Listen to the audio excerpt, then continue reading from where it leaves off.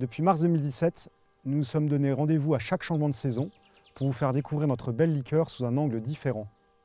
Depuis trois ans, nous sommes allés là où bat le cœur de la Chartreuse, du port d'Arus aux fêtes de Tarragone en Espagne. Nous avons également rencontré des grands chefs étoilés et des vignerons du Valais suisse qui parlent si bien des arômes de la Chartreuse. Nous avons aussi vibré sur les scènes du monde du rock jusqu'aux cimes du glacier de la Meige. À travers ces rencontres, nous pouvons témoigner du côté vivant de la liqueur des moines chartreux.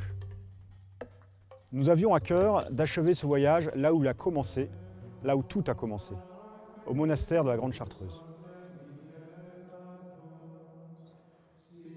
Derrière ces murs, les moines chartreux perpétuent leur savoir-faire unique issu des plantes et de la nature.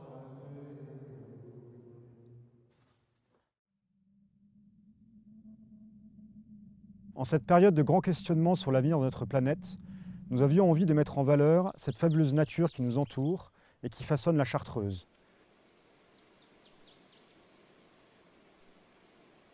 Dans les prochains épisodes de saison, nous avons décidé de rencontrer des acteurs œuvrant concrètement au plus proche de la nature.